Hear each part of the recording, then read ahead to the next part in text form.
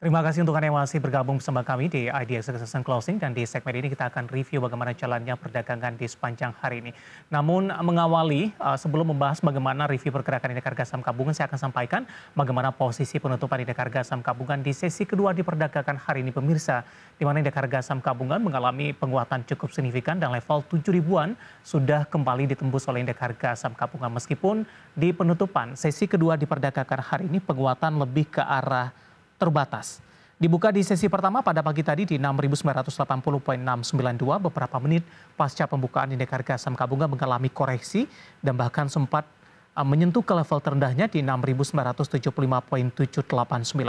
Kemudian indeks harga saham gabungan lebih cenderung mengalami penguatan bahkan di sepanjang perdagangan hari ini sempat menyentuh ke level tertingginya di 7.058.911.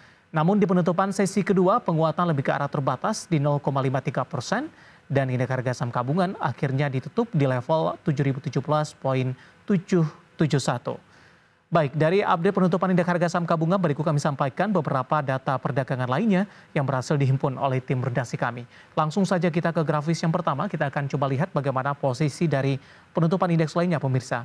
MNC 36 mengalami penguatan di 1,38 persen, Jakarta Islamic Index justru melemah di 0,18 persen, LQ45 menguat di atas 1 persen di 1,06 persen, dan sudah kembali ke level seribuan, tepatnya di 1004.187.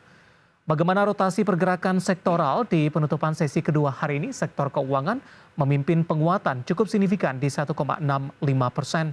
Beberapa perbankan big tampaknya hari ini menopang indeks harga saham keuangan dan juga dari sektor keuangan.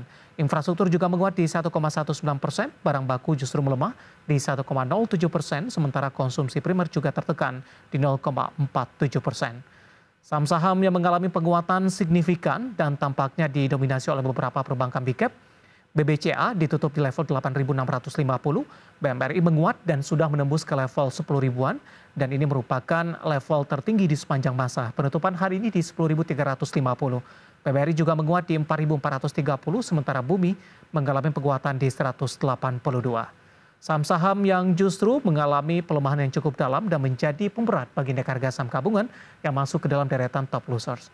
Dari teknologi ada Goto melemah di 200, Adaro melemah di 3.960, MDKA juga tertekan di 3.740, dan BP juga melemah di level 147.